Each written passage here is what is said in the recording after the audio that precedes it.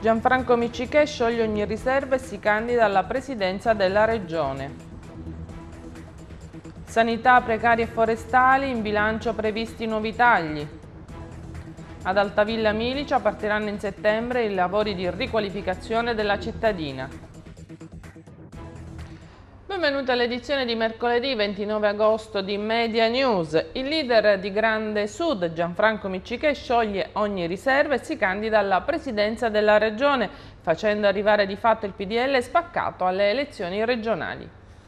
Il centrodestra siciliano arriverà spaccato alle prossime competizioni elettorali e ancora una volta la Sicilia si conferma fucina politica dell'intero stivale. Gianfranco Miccichè, l'uomo evidentemente in grado di frantumare la destra siciliana, si candida alla presidenza della regione e annuncia sin da subito l'intenzione di voler allargare la base politica che lo sostiene. Si dice contento perché dopo 11 anni si è costituito il suo sogno, il partito siciliano che sarà in grado di contrapporsi alla Lega Nord proprio per la sua connotazione di forte meridionalismo.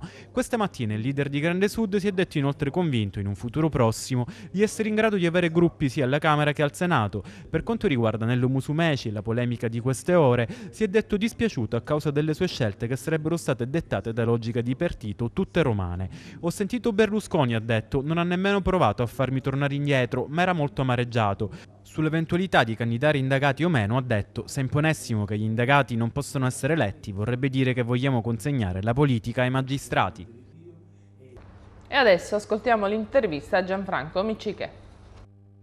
Se noi avessimo fatto tutto quello che abbiamo fatto per ottenere garanzie e spazi a livello nazionale, vuol dire che saremmo dei deficienti perché siamo oggi noi, siamo da soli, siamo senza partito nazionale, quindi senza nessuna garanzia, senza nessun paracadute come, come si dice in questi casi, siamo un gruppo di persone che ha avuto infinito coraggio, che, è, eh, che ha deciso di stare insieme, tutti noi poi avremmo potuto avere tutte le garanzie di questo mondo a livello nazionale da tanti partiti, sa, non era uno soltanto che ce le offriva, abbiamo deciso di, no, di non chiedere, devo dire neanche di non accettare perché nessuno ce l'ha mai offerti, ma di non chiedere eh, a nessun partito, anche se sapevamo che erano tanti che ce le avrebbero date. E qualcuno oggi pensa che il Partito Siciliano nasce perché non ci hanno dato un posto, una poltrona, veramente è in malafede.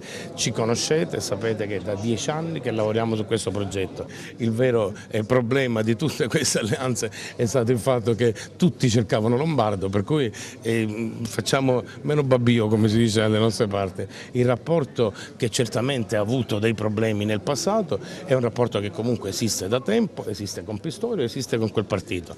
Non siamo stati d'accordo quando l'MPA ha pensato di aprire eh, al PD. Non posso eh, che ringraziare per esempio l'unico partito nazionale che sta rinunziando alla sigla, a tutto, pur di fare parte di un progetto sicilianista perché suoi uomini siciliani sono stati come dire, si sono innamorati di questo progetto che è il FLI e quindi non posso che ringraziare l'unico leader nazionale che non ha posto condizioni, contrariamente a quelli di un altro partito più grande che come condizione poneva quello di essere il padrone della Ferriera. L'ex consigliere comunale del PD Nindi Terminelli annuncia il suo addio al Partito Democratico con una lunga lettera al segretario nazionale Pierluigi Bersani dove esprime la sua delusione nei confronti del partito.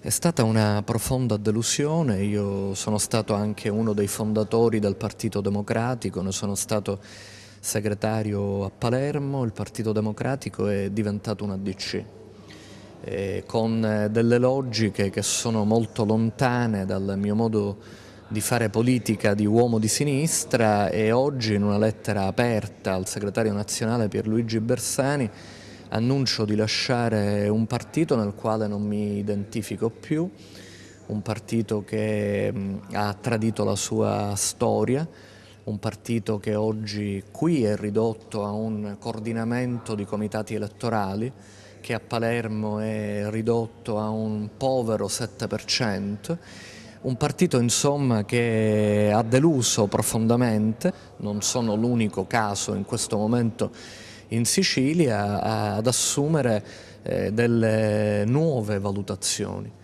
Valutazioni che per quello che mi riguarda vanno nella direzione della crescita del movimento che a giugno abbiamo fondato, il movimento Prospettive Politiche, nato per unire la sinistra e che si colloca proprio in un'area composta dai soggetti che naturalmente agiscono nel mondo eh, della sinistra. Quindi mh, oggi io annuncio di uscire dal Partito Democratico ma non eh, prendo alcuna casacca, vado nella direzione di un'area composta da più soggetti politici Diciamo che con una espressione, io non sono cambiato, è cambiato il PD, è il PD che se n'è andato eh, e non io, io rimango quello che ero. Sanità precarie e forestali, in bilancio previsti nuovi tagli, l'assessore Armao ha trasmesso a uffici e dipartimenti il bozzone. L'assessorato all'economia ha trasmesso a uffici e dipartimenti il bozzone per la stesura del bilancio di previsione per il 2013 e di quello pluriennale 2013-2015. Il documento conterrebbe una stretta con tagli sugli impegni di spesa nel 2013 per 1,3 miliardi, pari ad una riduzione del 22% rispetto al budget 2011 che rientra all'interno del patto di stabilità. Il taglio salirà al 24% nel 2014 e nel 2015. La sforbiciata riguarda anche i pagamenti, meno 26% nel 2013 e meno 28% negli anni 2014 e 2015. Non solo, gli uffici del bilancio avvertono che non ci sono i fondi necessari a coprire per intero alcune voci di spesa aventi natura obbligatoria o di rilevante valenza sociale, per cui si legge nella circolare firmata dall'assessore Gaetano Armao ai dipartimenti chiamati a presentare le proposte di spesa, potrà rendersi necessario ridurre ulteriormente il budget di spesa dei singoli dipartimenti regionali. A rischio, scrive Armao, ci sono il cofinanziamento alla spesa sanitaria, la copertura per il personale della Regione a tempo determinato e per il settore del precariato.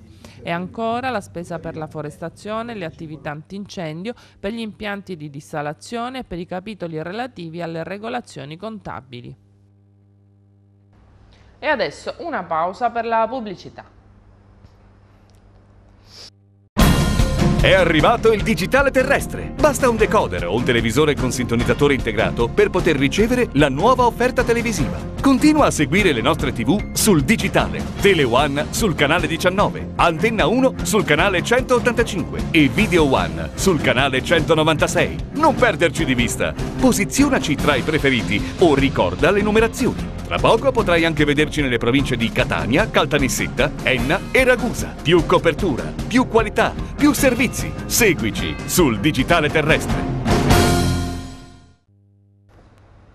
I ragazzi del comitato anti-racket Addio Pizzo hanno ricordato questa mattina Libero Grassi ucciso dalla mafia il 29 agosto del 91 per essersi ribellato al pizzo. La giornata della memoria si è aperta in via Alfieri, il luogo in cui l'imprenditore venne assassinato. È stata deposta una corona di fiori ed è stato affisto un manifesto. Davanti la sede della Sigma, l'azienda di cui Grassi era il titolare, è stato osservato un minuto di silenzio.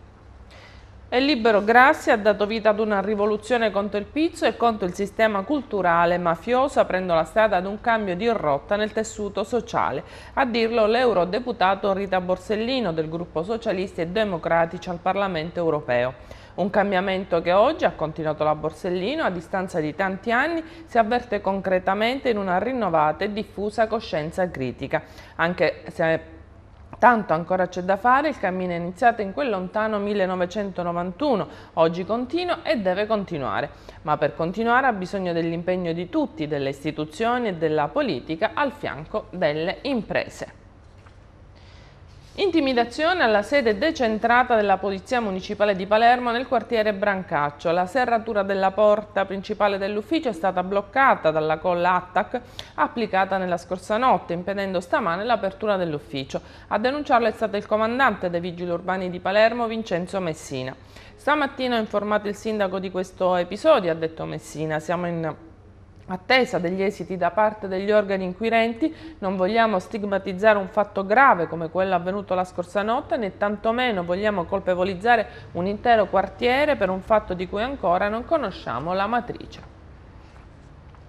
GESIP, il piano del liquidatore prevede cassa integrazione part-time, il servizio.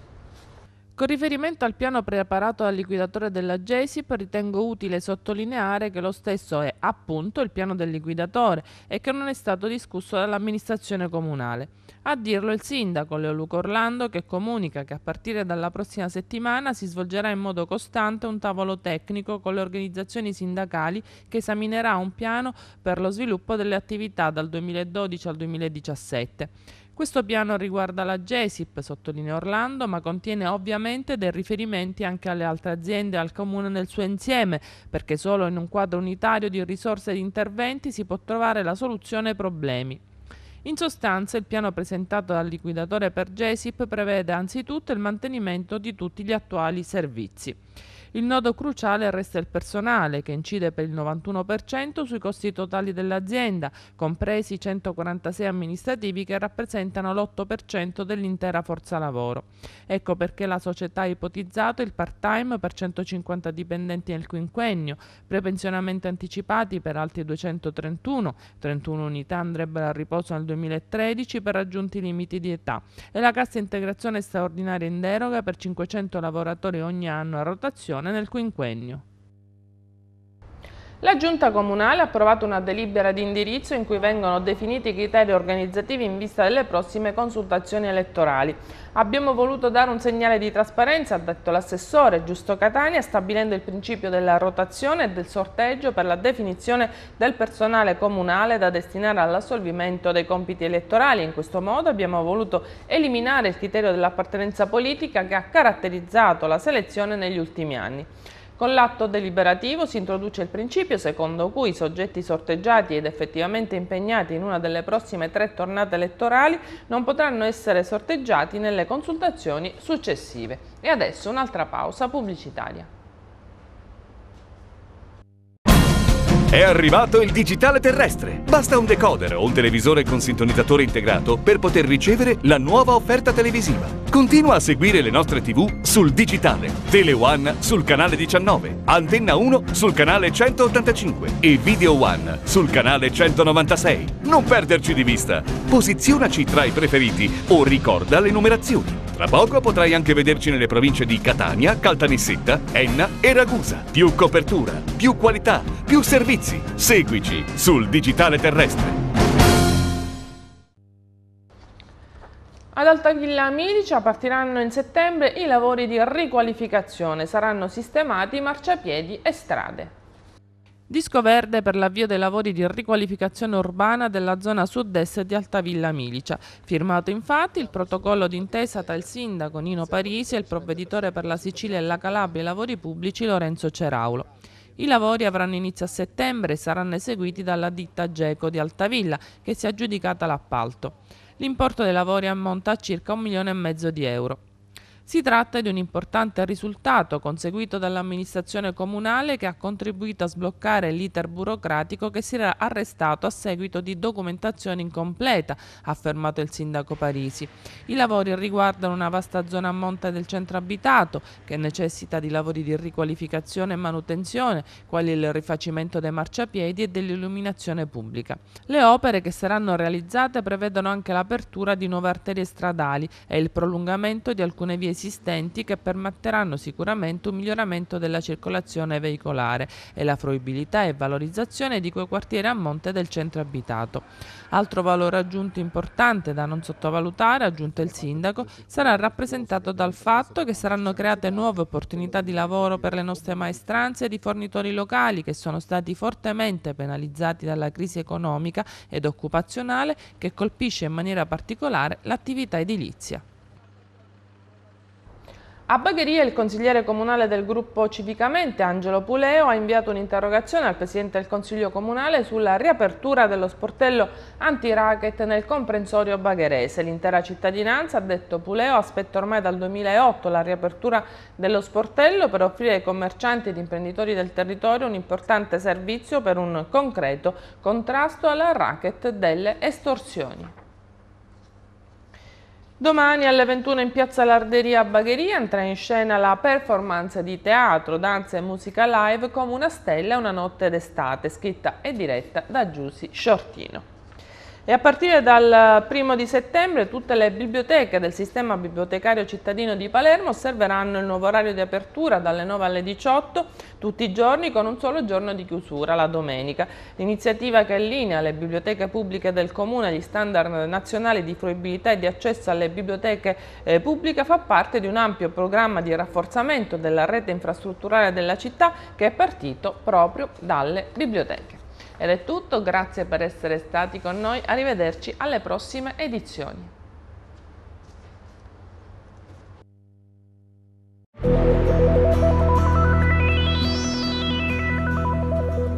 Situazione meteo di oggi, mercoledì 29 agosto, su Palermo e provincia. Previste nubi sparse, vento di tramontana, temperature 21 gradi la minima, 34 la massima. Previsioni meteo per domani, 30 agosto, sole e caldo, venti prevalentemente moderati da nord-est, temperature comprese fra 20 e 36 gradi.